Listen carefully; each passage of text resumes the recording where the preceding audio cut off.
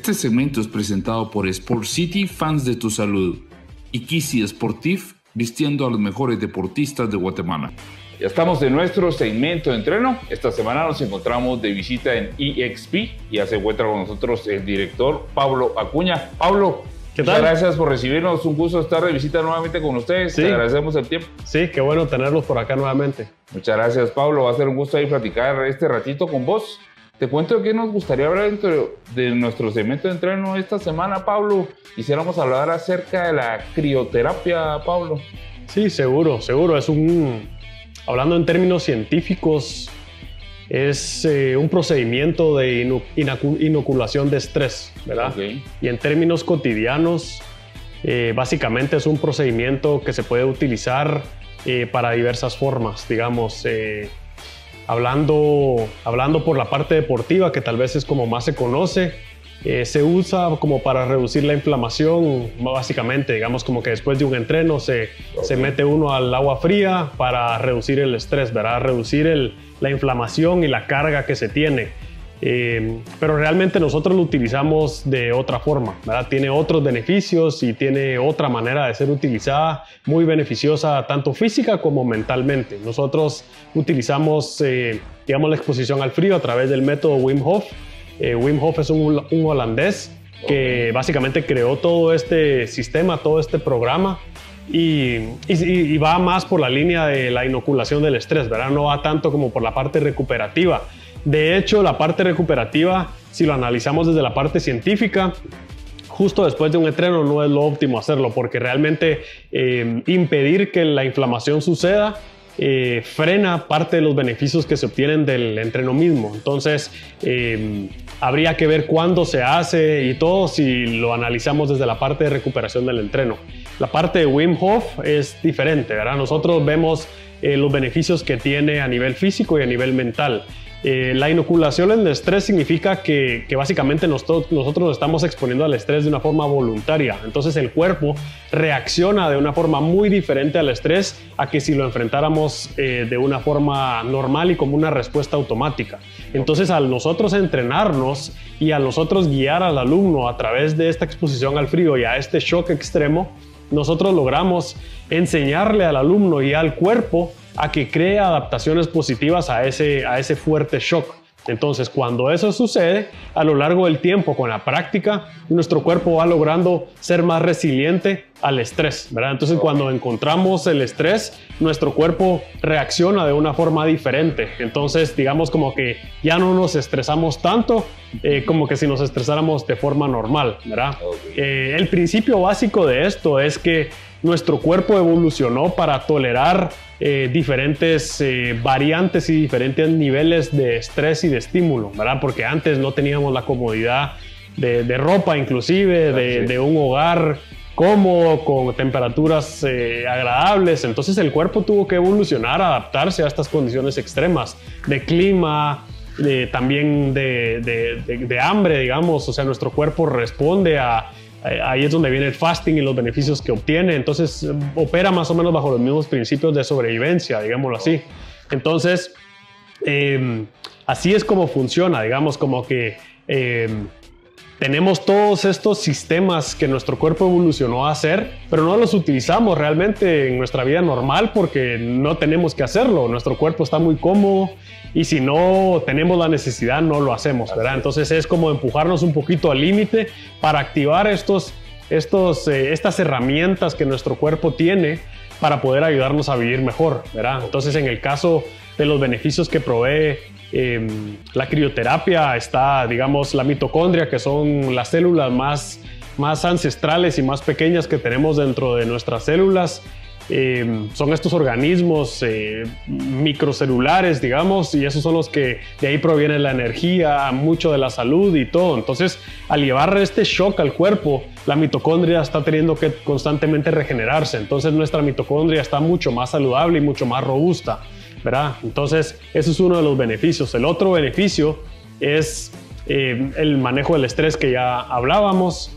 Eh, luego incrementa mucho la energía porque básicamente nuestro, nuestro cuerpo está como muy activado, ¿verdad? Cuando nosotros hacemos una, una práctica de crioterapia, eh, el cuerpo segrega muchísima dopamina, entonces nos encontramos en estos estados elevados de, como, como de activación, ¿verdad? Entonces eh, es súper bueno, uno se siente muy bien a pesar de que uno sufre mucho, ¿verdad?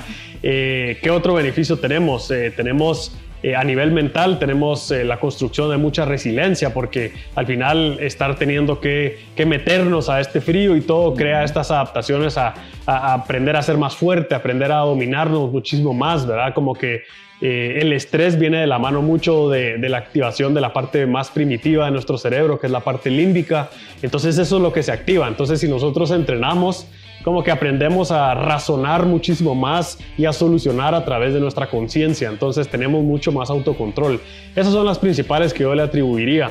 Luego, una que, se ha vuelto muy de moda ahorita es el sistema inmunológico, levantar el sistema inmunológico porque como, como estamos atacando nuestro cuerpo, eh, el sistema inmunológico de nuestro cuerpo se levanta, ¿verdad? Entonces, eh, o sea, desde que nos metemos, nuestro sistema inmunológico está más activado, entonces nos volvemos muchísimo más resistentes a cualquier enfermedad, a cualquier virus, a cualquier cosa, ¿verdad? Buenísimo. Eh, enfocándonos, eh, Pablo, en, eh, porque muchas de las personas que nos ven entrenan en gimnasio, hacen CrossFit, tenemos muchos corredores, muchos triatletas.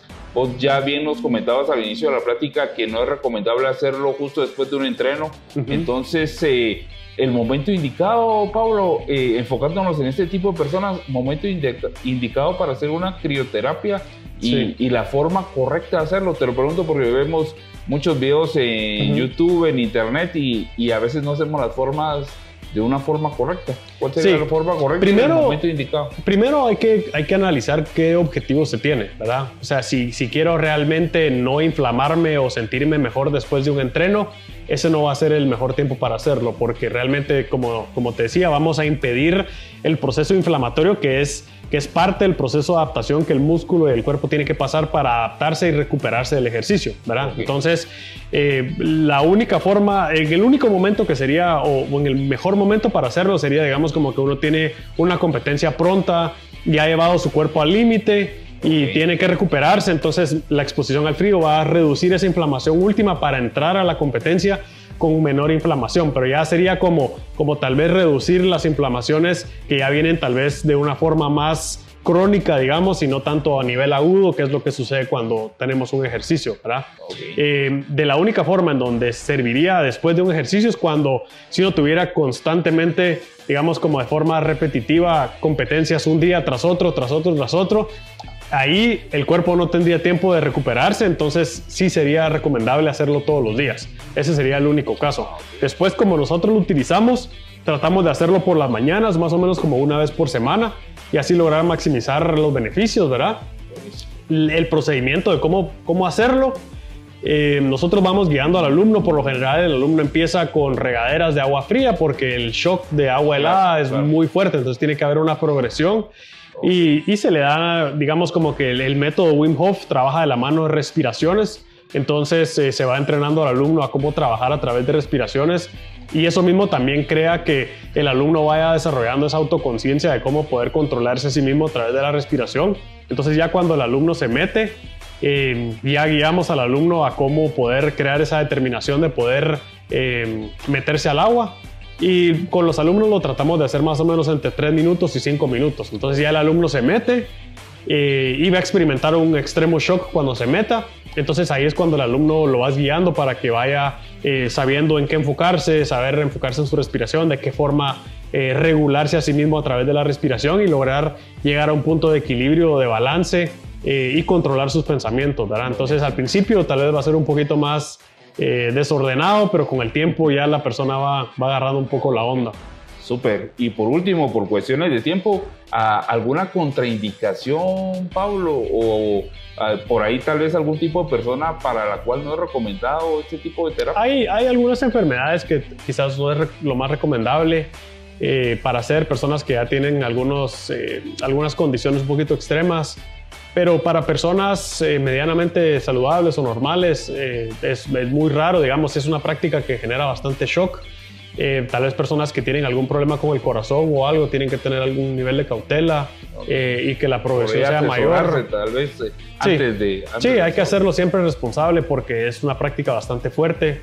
Eh, pero de forma general, de hecho lo recomiendan para personas que tienen condiciones del sistema nervioso y cosas de dolor y todo, porque, porque el cuerpo mismo aprende a cómo manejar de mejor forma esas respuestas, ¿verdad? Entonces, siempre es, es, importante hacerlo con una persona que ha sido entrenada para esto, una persona que, que tiene el conocimiento de poder guiar y digamos nosotros como, como entrenadores de esto vamos percibiendo en qué momento el alumno está listo para hacer qué cosa, porque hay personas que vienen con nosotros y quiero hacer, quiero hacerlo y, y no es así nomás, es, es peligroso, puede ser peligroso y hay que hacerlo con responsabilidad. Ok, súper, buenísimo. Pues un gusto el haber estado platicando con vos este ratito, Pablo. Te agradecemos nuevamente el que nos haya recibido.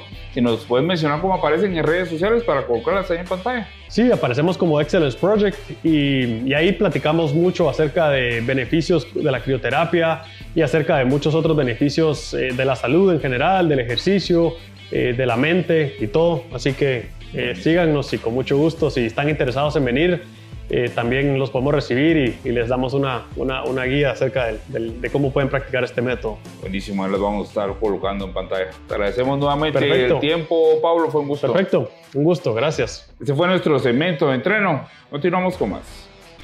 Este segmento fue presentado por Sport City, fans de tu salud, y Kisi Sportif, pisteando a los mejores deportistas de Guatemala.